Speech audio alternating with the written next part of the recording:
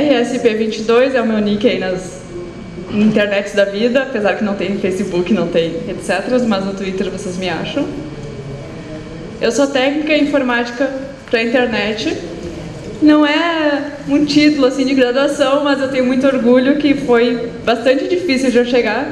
Eu fui a única, não só a única menina, como eu fui a única pessoa da minha turma a terminar o curso de quase 30 alunos, então eu sou muito orgulhosa desse título. Parabéns. Valeu. Eu sou, fui estagiária Outreach com o projeto Debian. Eu, nesse verão passei três meses trabalhando numa wiki em Python, que é a Moin Wiki. Eu sou do PyLates Porto Alegre, ajudo lá a organizar, uma das fundadoras. E tem PyLates de Porto Alegre aqui. Organizadora e treinadora de Young Girls, e eu gosto de resolver problemas usando Python, como acho que muita gente aqui. Qual motivação, as motivações dessa palestra? Eu vou sair um pouquinho da apresentação para mostrar algo aqui para vocês. Isso aqui é uma, uma aplicaçãozinha que está exibindo um relatório de vendas mensais. Tinha um cliente, ele conseguia logar no sistema e ver um relatório desses, mas a gente não tinha nem acesso a, ao código que gerava esse relatório, nem ao servidor, nem nada. E ele me veio com a pergunta de: Olha, eu consigo ver isso aqui no navegador, mas. Mas. Dá para abrir no Excel? Para quem não sabe, eu sou militante de software livre, sabe? Eu fiquei assim, me deu uma coisa por dentro quando a pessoa me pergunta, abrindo Excel? Software proprietário? Mas vamos lá, vou ver o que eu posso fazer por ti. Então eu desenvolvi o código e surgiu essa palestra. E a ideia da palestra também é mostrar como exportar dados para diversos formatos de arquivos. Formatos que podem ser abertos não só pelo Excel, formatos como TXT, como CSV e como JSON, que é um formato bastante popular em serviços web. Usando o que? Módulos que são próprios do Python, que já vem na biblioteca padrão do Python, sem precisar necessariamente de ferramentas externas. Um aviso, tá? Básicozinho, só para quem vai ver meus códigos, por gentileza, estou me expondo aqui. Os códigos que aqui estão nos slides eles foram simplificados para quê? Para o um entendimento mais fácil e para caber nos slides. Eu não fiz toda um, uma padronização de função, docstrings e boas práticas que a gente vai fazer numa programação, porque é só uma demonstração, certo, pessoal? Um computador. Isso aqui, quem estuda na área sabe. Computador, ele recebe o input, a entrada, ele faz o processamento e ele te devolve o output, a saída. Ok? Basicamente é isso. E aí, com esse, com esse script, nós vamos fazer o quê? Redirecionar toda a saída para o armazenamento, o armazenamento, o formato de arquivo escolhido. Exportando para arquivo formato texto. Nós temos uma lista ali, PyBR Natal 2018 palestras. Vamos abrir um arquivo e escrever nele cada um destes itens.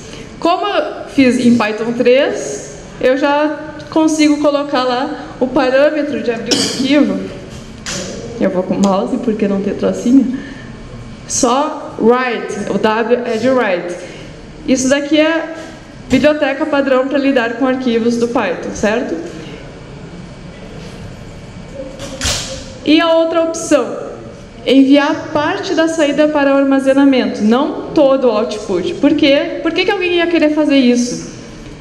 Para, por exemplo, se eu estou fazendo um processamento que é muito longo, se eu estou gerando uma lista com muitos itens, que vai demorar horas para gerar, eu quero saber se o computador travou, se ele realmente está percorrendo, fazendo o algoritmo e gerando todos aqueles itens. A, a, a, cada, a cada marco eu quero que ele me avise que chegou no marco tal e que continua processando.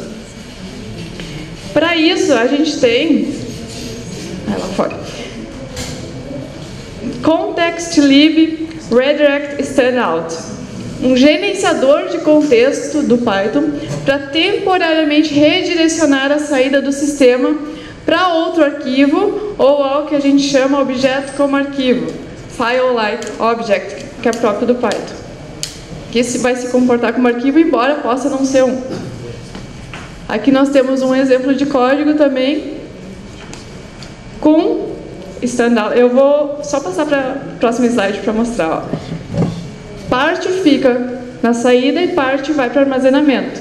Então, isso aqui vai para a saída, vai me exibir no terminal. Aqui no caso vai aparecer cada linha, porque eu tenho quatro itens só.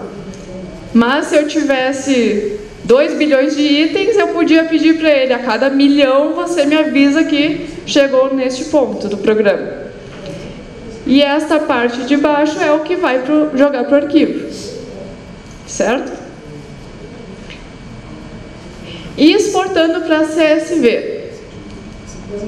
O que, que é um arquivo CSV para começo de conversa? Eu posso aqui estar tá falando, é normal, eu, eu assumo que todo mundo é iniciante, por quê? A gente, em algum ponto, sempre é iniciante. Nessa nossa área, tem muitas e muitas coisas que, se a gente não lida no dia a dia, a gente pode desconhecer. Então, o que é um arquivo CSV? É um arquivo que contém conjuntos de dados de textos que são separados por vírgula. E daí veio o nome dele, Comma Separated Values. Arquivos CSV muitas vezes são abertos por planilhas mas também são utilizados para transferir dados entre banco de dados, certo? E aqui nós temos dois exemplos de arquivos CSV. O primeiro peguei aleatoriamente, que é itens vendidos e qual o lucro que fez. E o segundo ali, que eu peguei de uma raspagem que eu fiz lá no site do John Gross. E aqui, esse aqui é interessante porque isso aqui é um arquivo com valores separados por vírgula válido, porque aquilo ali eu estou vendo tem uma outra coisa que não é vírgula ali separando as coisas. Eu vou entrar nesse assunto.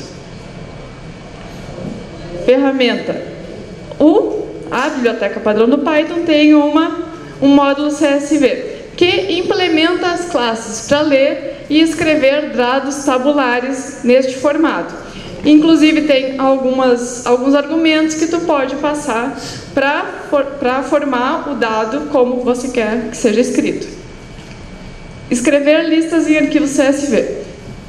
Peguei ali uma, uma lista de localizações que são os próximos John Gross. E aí eu usei o que? Um delimitador diferente, que não é a vírgula, porque um dos itens lá tem uma vírgula que vai quebrar o meu código se eu usar como delimitador a vírgula.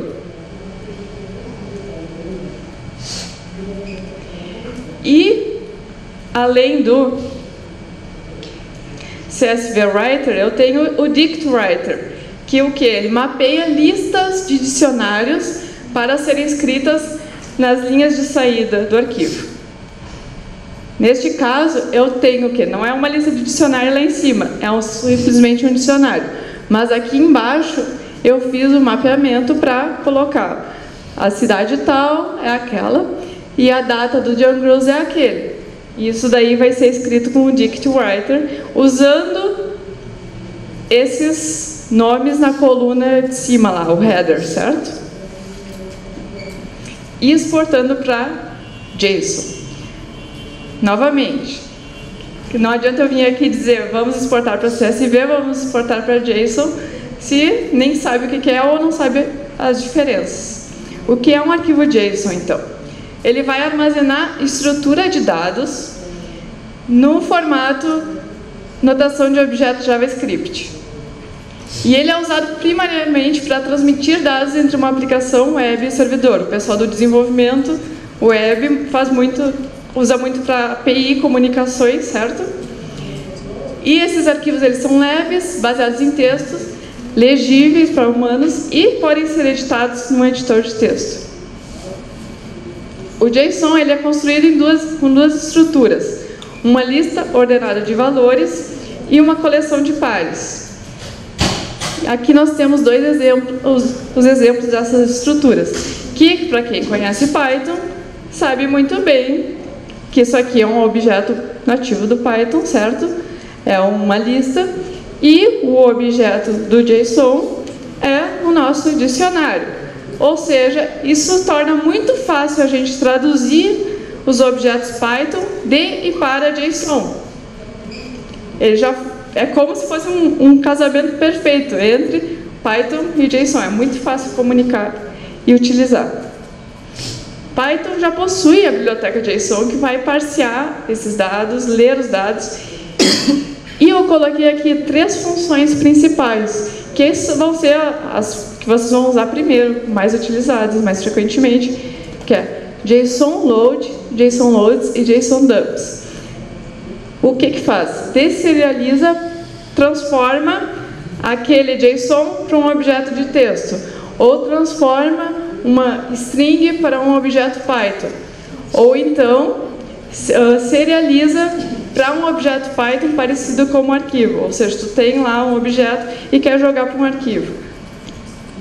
E aqui também nós temos um exemplo de como eu criei um arquivo JSON com as informações dos Young Grows.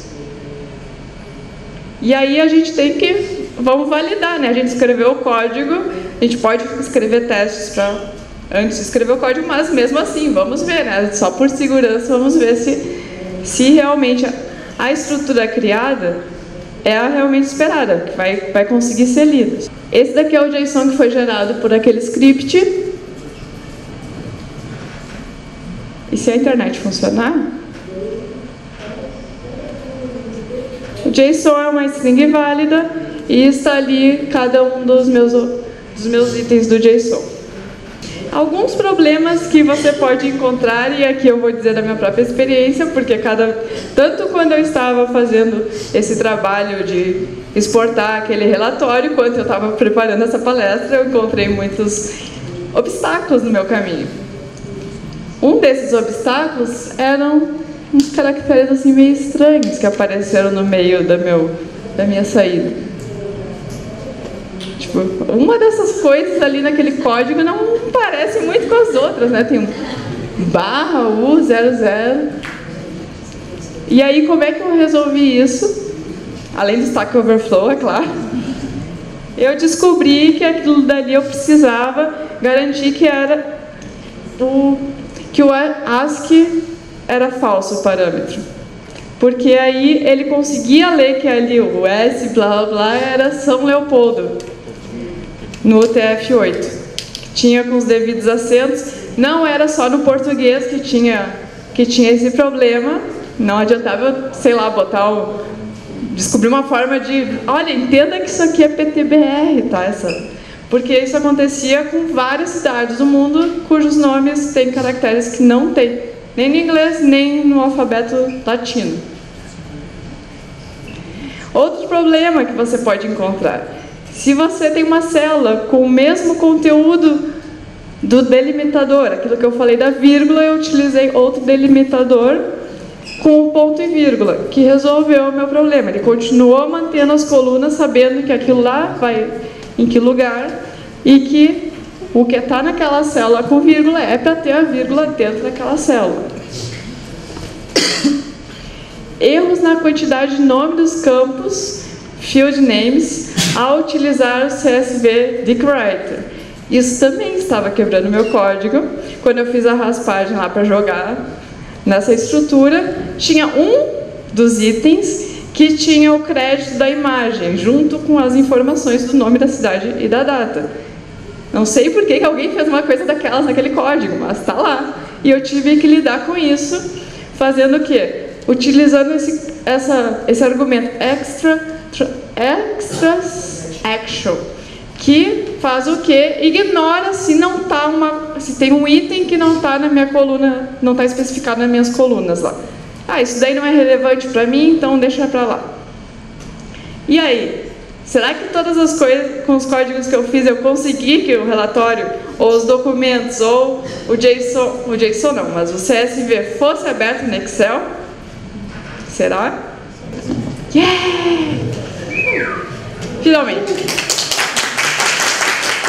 E tá ali o meu CSV aberto nas coluninhas maravilhosas do Excel. Sim, meu cliente conseguiu abrir no Excel dele, abrir no, nos outros programas de planilhas que eles usam.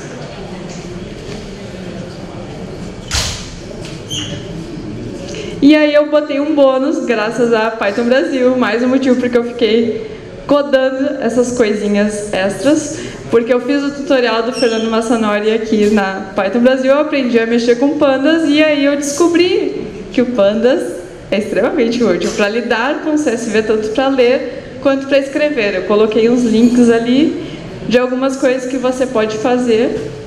E inclusive o pandas permite que você já exporte para um arquivo do formato Excel. Aí eu posso fazer um XLS, X, se quiser. E ali o meu códigozinho também que eu fiz com pandas. Eu tive que fazer um, uma lista de dicionários também, porque para fazer o data frame e exportar para CSV, precisava de uma lista de dicionários. O que mais? Eu botei links ali sobre como redirecionar as saídas em Python e sobre uh, o Redirect Standout. E é isso. Me achem no LinkedIn, no GitHub e por favor mandem jobs, tá?